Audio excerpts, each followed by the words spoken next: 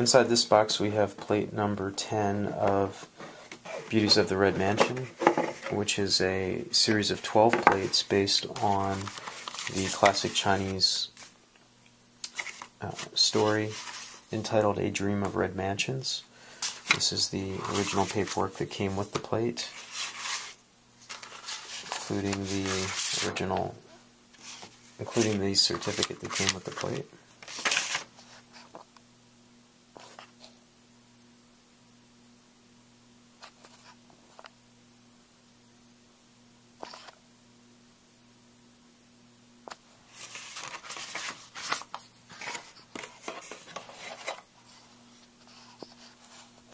And this is the plate.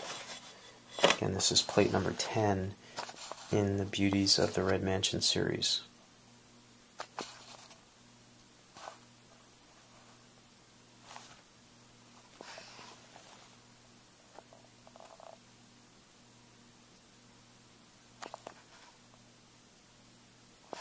These plates are available as a set at toothygrinsstore.com. You can see more by clicking on the link below this video.